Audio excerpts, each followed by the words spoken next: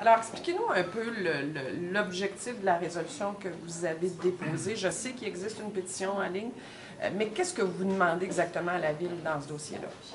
En fait, c'est un support à l'initiative, comme dans toute initiative du gouvernement provincial, fédéral. Des fois, ils vont demander aux villes de supporter. Donc, moi, ce que je demande, c'est que la ville s'engage à, euh, ben, en fait, supporte publiquement l'initiative de la citoyenne pour être capable de euh, peut-être influencer les autres villes à, supporter l'initiative aussi.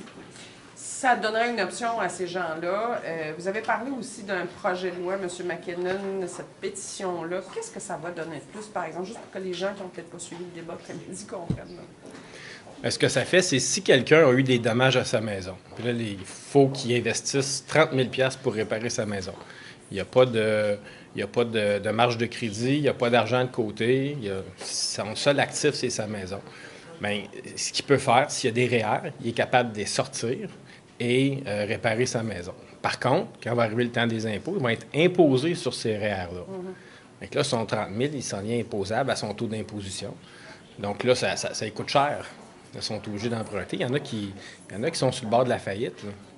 Donc, aux États-Unis, la façon que ça fonctionne, c'est que tu peux utiliser cet argent-là pour sauver ta maison. Puis quand tu as ton chèque du gouvernement, bien là, tu rembourses tes REER sans, sans, pénalité. Donc, une obligation de remboursement par la suite. Quand le gouvernement finit par euh, donner l'argent qui vient euh, avec, le, avec les programmes, ben, il y a une obligation de remboursement du.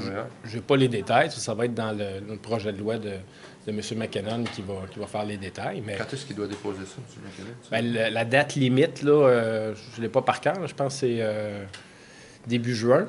Après ça, il retire la pétition. Il va voir selon le nombre de signatures qu'il y a s'il est capable de déposer un projet de loi avec ça. Mais on n'aurait peut-être pas besoin d'une telle mesure si les programmes de, du gouvernement avaient été plus efficaces et plus rapides, peut-être? Ben, en fait, lorsque le ministre Coiteux s'est engagé à payer euh, en dedans d'un mois et demi un gros pourcentage des, euh, des chèques, j'ai presque dit, ben là, ça vaut peu la peine de faire la demande.